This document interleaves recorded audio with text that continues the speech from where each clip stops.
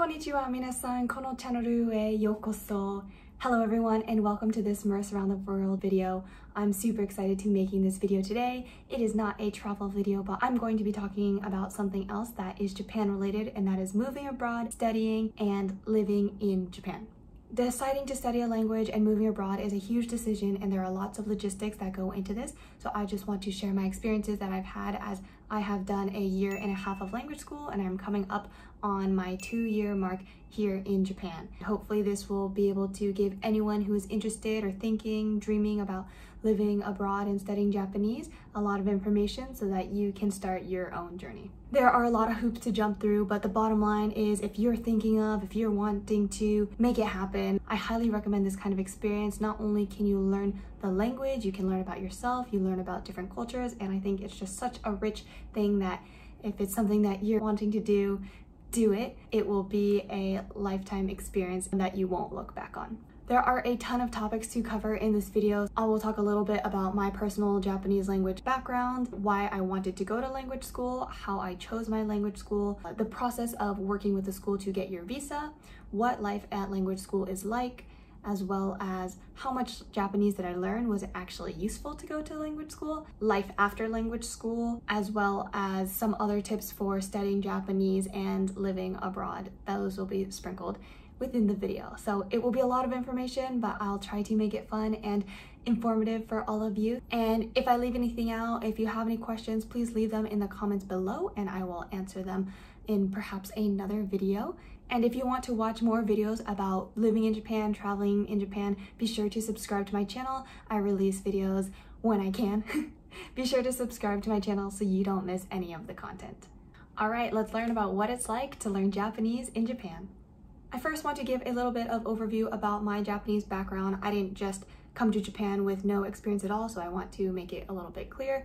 I studied Japanese for a year when I was in college in order to go to Kyoto for a study abroad trip, so it was my first taste of learning Japanese. However, after graduating, I didn't use any Japanese at all, and so I went three years without speaking anything. I pretty much forgot all of it, lost all of it, it was gone but I found that the Japanese came back much quicker and I felt that things just started to make sense a little bit better the second time around, which was exciting. And this was especially for verb conjugations and kanji. So my piece of advice here is even if you've tried learning a language or Japanese before, and you didn't quite make it to your goal, it's never too late to pick it up again. You just need to take that first step and start again. And for those who are beginning to learn Japanese for the first time, you should be super excited. It's a beautiful language. It is difficult though, um, at least that's my personal opinion, but you will learn so much about Japanese culture that you just need to take that first step and start learning. Why I wanted to go to Japanese school.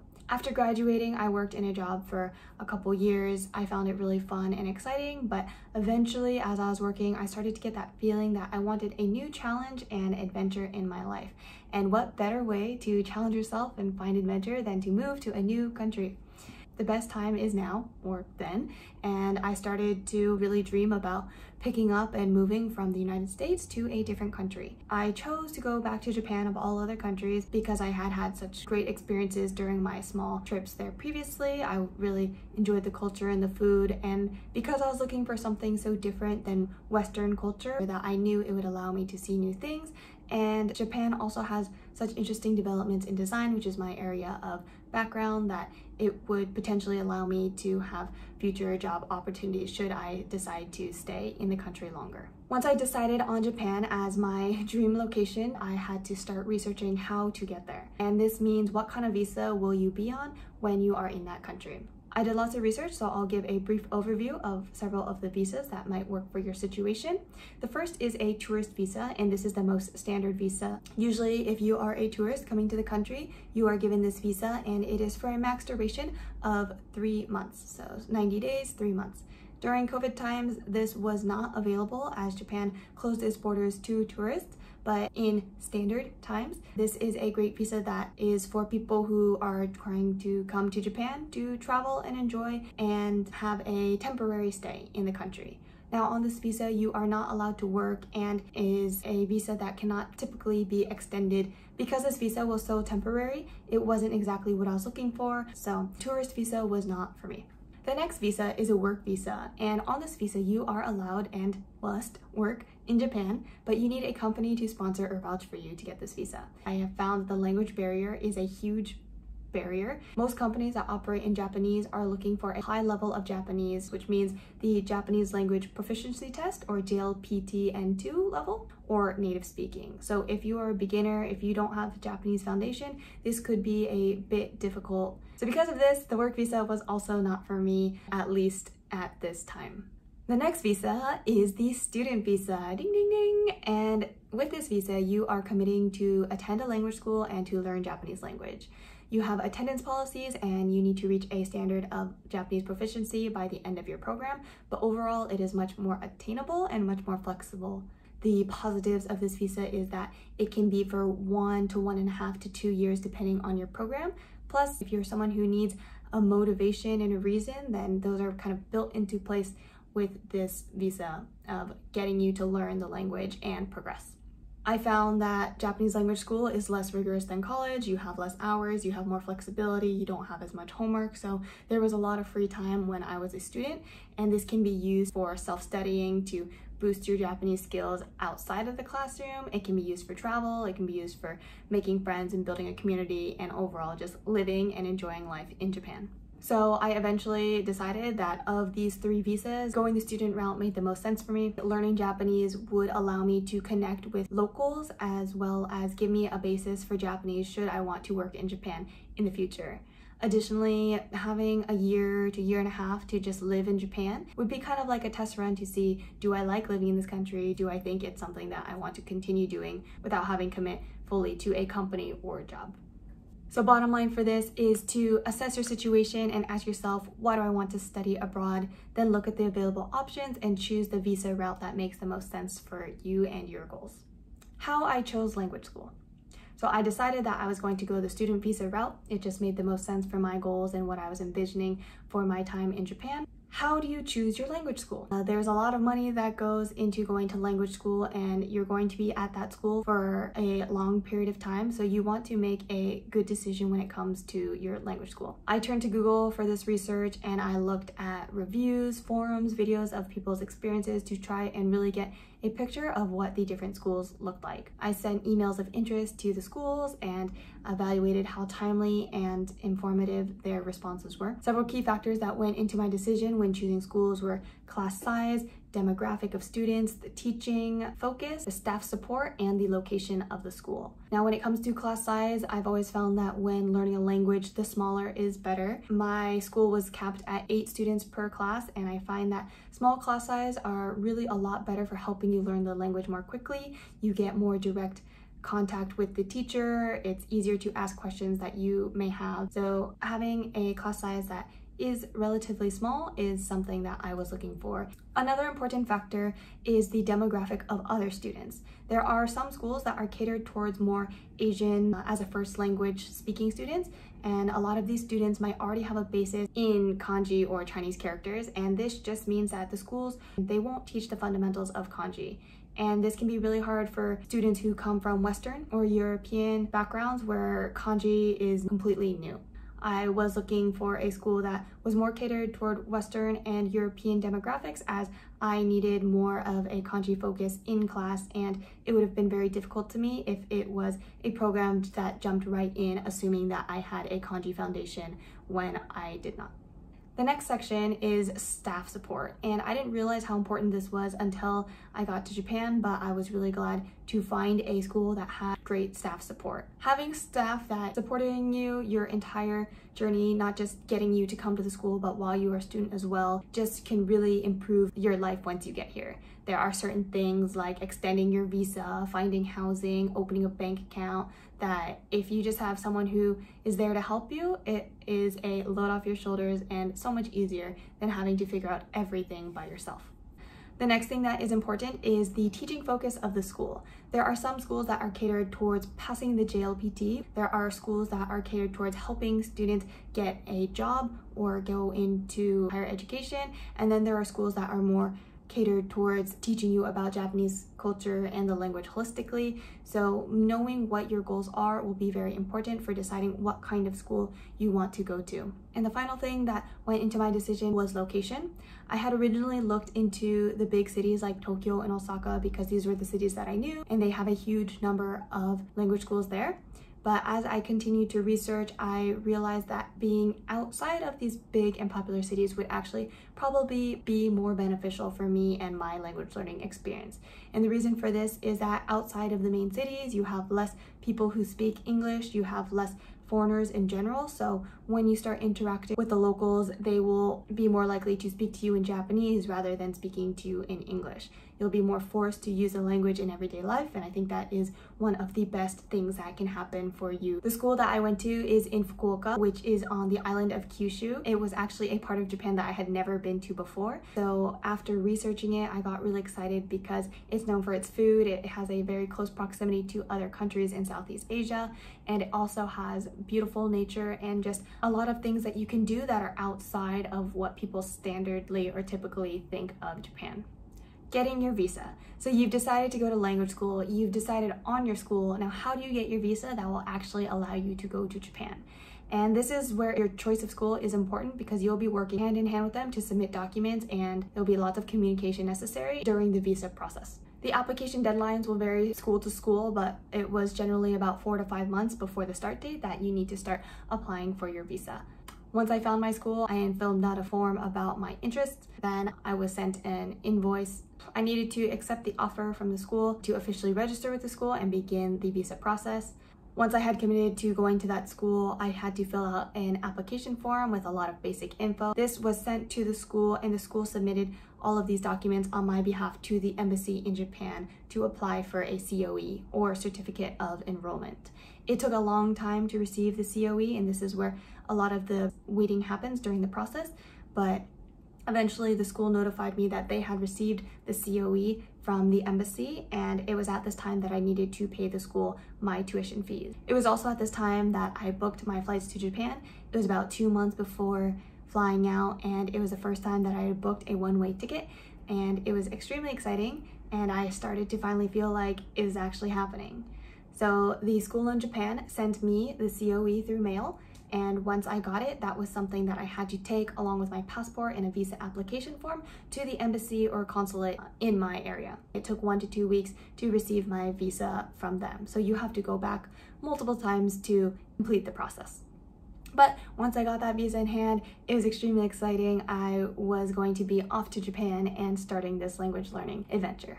The bottom line for this section is to brace yourself because the visa process is long and tedious. There are so many documents that you need to gather to show your finances, to show your intent and reasons for wanting to study. But once you get all of those together, make sure to double, double check because you don't want to have any delays because of errors. But once you get that visa, you have your ticket to go to Japan.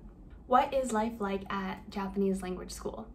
You got the visa and you made it to Japan. It's time to start your classes. What is it like to study Japanese in Japan? Some of this information is specific to my particular school, but a lot of it is also much more general and applies to Japanese language schools in all of Japan.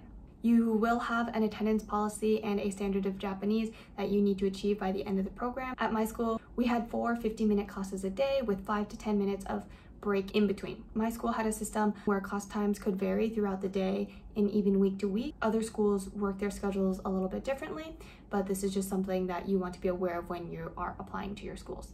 We focused on the four skills, which are reading, writing, listening, and speaking. At my school, we used a dedicated textbook for two of the classes and then would study the remaining skills in the other two classes. We did a lot of role play and working with other classmates to really try to boost our speaking ability. There was very light homework, it was about one page a day, reviewing what we learned in the textbook. I highly recommend doing self-learning on your own outside of the classroom to really build a strong foundation and this could be interacting with locals, going out to bars and restaurants, or just spending more time studying a little bit more kanji on your own. I have a full blog post about some of my best resources and study tips that I will link below, but be sure to check that out if you're looking for different ways to learn the language. At my school, we had mini vocab tests week to week, as well as larger tests that were based off of the textbook that we used. If you participated in class and did the homework, it was pretty much not a problem at all to do well. There's a speaking portion of the test, and in higher levels, we had a writing section as well. So you need to do well on these tests in order to continue to the next level and progress within the school, but if not, you will have to retake some of the classes to brush up on skills that you are not as strong in. The school I was at did not traditionally teach specifically to the JLPT or the proficiency test that I've been mentioning, but because during my time there were a lot of students who were interested in taking the test at higher levels, they did cater a bit of classes before the test to really focus directly on test materials. So we used JLPT practice books, we did mock tests, and had a lot of sample questions to do in order to get us comfortable and ready for the test. Outside of the class, uh, the school organized cultural events on holidays and throughout the week there were other events that you could participate in as the school had affiliations with local Japanese schools and programs in the area.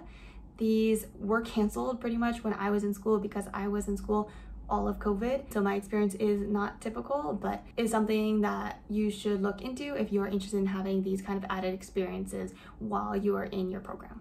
In terms of breaks and vacations, being on a student visa, you have a lot of breaks, which is great if you are looking to spend that time traveling around Japan or doing things outside of the classroom. In summer, we had a six week vacation. In spring and winter, there was two week vacations. And in fall, there was a one week vacation with national holidays spread out between these. And so I had a lot of time during these breaks to explore and really see more of Japan than had I just been on a single tourist visa. When you're on a student visa, you are allowed to work. It's up to 28 hours per week, but your work cannot impact your attendance or your grades. Being a student, you have your structured day in class depending on your school, but afterwards you have so much time to do what you want, part-time job, extra study, all of that. So it's really cool. You get to craft your own life when you are a student here in Japan. How much Japanese did I learn? I studied Japanese at a language school for a year and a half. I started as a beginner, but as I mentioned, I wasn't an absolute beginner. I had had some previous Japanese studies beforehand. So for me, it was a little bit quicker to pick up and start because I had a foundation that just needed to be dusted off. When I started school, I started with the Genki books. I started around chapter 7 in Genki 1. After Genki 1, I progressed to Genki 2. After Genki 2, I went to what we called the pink book and the green book, which is a different textbook series but is geared towards intermediate. After the pink and green, we started working with separate grammar books, so try 3 and try 2. After that, there were a mix of JLPT books that we also used when we were studying uh, specifically for the JLPT. This included New Kanzen Master series and Soumatome series. And I have links to these, all these textbooks I'll put them below so you can check them out yourself. So there, there were a lot of textbooks, but even with this outside of class, I did a lot of supplemental language learning by myself. I studied WaniKani for kanji, I bought my own JLPT book, and I started watching Japanese news and reading. So you have a good basis of what happens in school. It's for four-ish hours a day of listening and speaking, but if you really want to boost your Japanese, try to take advantage of everything that's out there in the in the world of Japan to boost your language learning even more. At this point, I feel pretty confident being able to talk to someone for the first time. I can start a conversation and talk about the basics. I do feel like I'm better at listening than speaking, but I'm working on continuing to improve both of these. I did have some interviews in Japanese when I was job hunting,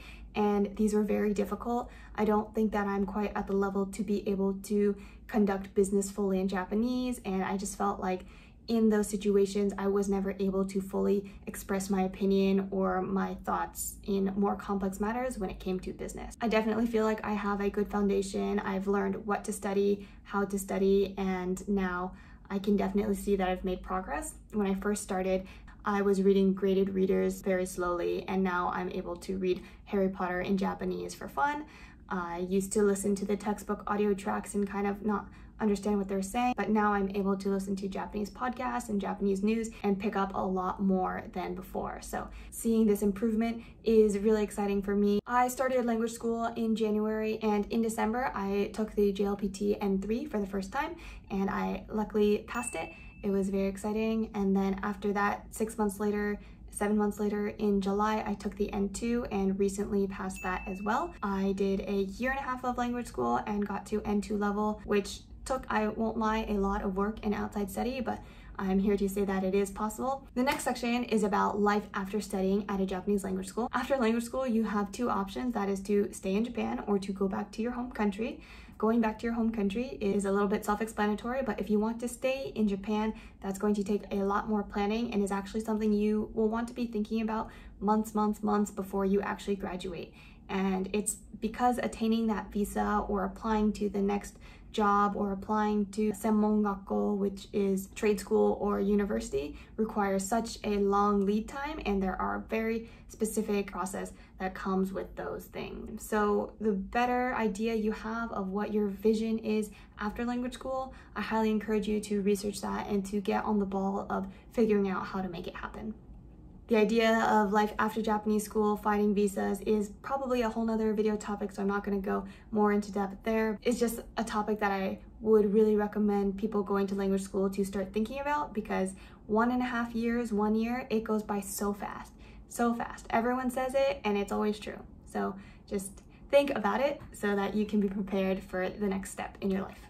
Finally, should you study abroad in Japan? If you are intent on learning the language, yes, you should. The best way to learn a language is to be in that country itself. You see signs in kanji, you hear people's conversations on the street, you're forced to read menus and to interact, and if you really want the best Japanese learning, I recommend coming to Japan and just seeing what it's like and you just get a richer cultural experience and things are just things are just better. Um, if you're looking to use the language as a stepping stone for finding future work in Japan, I also recommend it just because so many companies have a high level of Japanese language that is needed to work there that the better and faster you can build your foundation, the easier it will be to get that job in Japan. Also, starting on a student visa and doing a year of learning will give you time to really see if you like the culture, if it fits. It also gives you time to build connections, which are very important here for finding future work and just friends and having a good time in general. So if you're looking to experience actually living in Japan for more than just a tourist visa, the student route is a great way to go. It'll allow you to experience a different culture, to learn about yourself, to figure out what you want to do, and to also just give you that foundation of Japanese that can only help you in your future. I hope this video has given you um, some valuable insights into what it is like to move abroad and to study Japanese. I'm sure there are lots of questions, so please throw them at me. I would love to be able to answer them if I can. I also just want to give so much encouragement to anyone who's thinking about taking this leap of faith because I believe it is such a valuable experience and something that is worth the time and effort to get here. So yes, if you have any questions, please leave them in the comments below and don't forget to subscribe so that you don't miss any upcoming videos. I also have a website about traveling in Japan, living in Japan that has articles on studying for the JLPT, best resources for Japanese, so be sure to check that out. I'll leave a link below. I really appreciate you guys watching this and I hope to see you next time. じゃあまた